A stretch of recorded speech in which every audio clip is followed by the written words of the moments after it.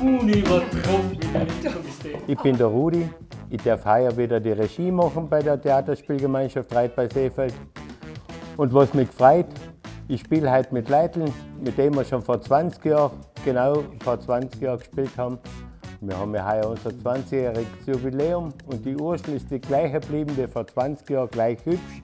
Und auch der Markus hat vor 20 Jahren schon gespielt und zwei Junge haben wir wieder dabei, die hervorragend reingekommen sind in die ganze Spielgemeinschaft und wir freuen uns schon voll auf euch. Wir haben uns überlegt, heuer das Stück halt wieder zu spielen, das wir als allererstes gespielt haben, die pfiffige Ursel.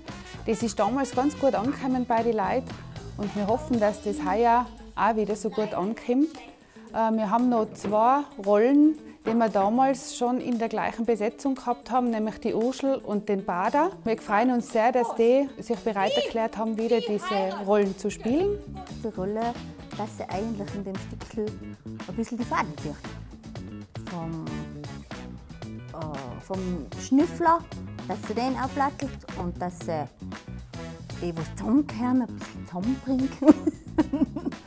und ja, dass sie eigentlich ein bisschen die Lustige macht in dem Stück. Sie ist die Nichte und sie hat ein bisschen auch mit einem anderen Mann was am Laufen. Und sie hat ziemliche Stimmungsschwankungen, kann man eigentlich sagen. Aber es ist cool zum Spielen. Also eine tolle Rolle. Lustig, also ich finde es total nett und wir haben eine super Gemeinschaft zusammen und es ist super lässig zum Spielen. Und ja, ein paar junge Brauche hat man noch, aber so mit den mit die schon gewohnten Theaterspieler ist es echt lästig, kann man viel lernen von ihnen. In den Stickeln geht es um ein Wirtshaus, um einen roten Ochsen. Die Wirtin verunglückt leider, hat einen Fuß gebrochen und ist länger im Krankenhaus. Und der gute Hausl, der muss jetzt das Geschäft führen. Und die Ursel, die hat sich da als Kellnerin beworben und die möchte unbedingt bleiben und die meint, die schafft es und macht es gut.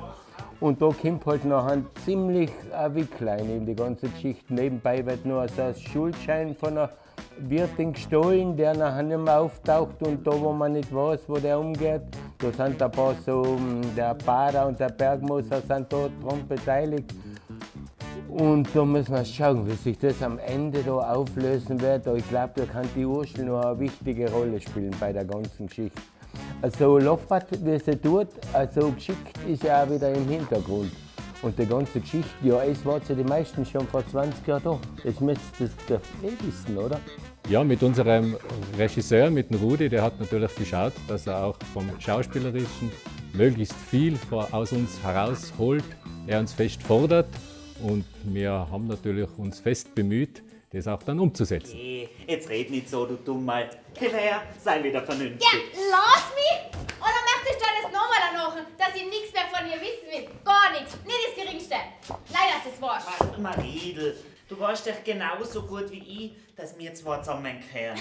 Ja, an du denken sollen, bevor der andere Skiern dann hast. Ach, geh Maridel, hoch mir dich zu, da war nix. Ich hab's dir doch schon erklärt. Ich brauch deine Erklärung nicht. Was ich gesehen hab, hab ich gesehen.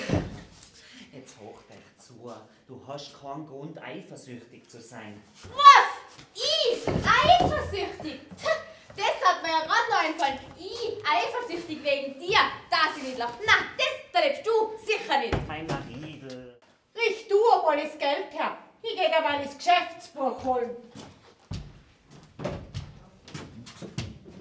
Jetzt will sie einen Schuldschein holen. Tun her, dass sie ihn wegschmeißen kann. Ja, Mann, du schaust mir auf ihr ganz blöd. Zuerst geh die 500 Euro, wie wir ausgemacht haben. 300 haben wir rausgebracht. 500? Lieg nicht so unverschämt. Du jetzt her das Geld. Herr mich! Her das Geld, Äh, Wir haben unsere Premiere am 16.11.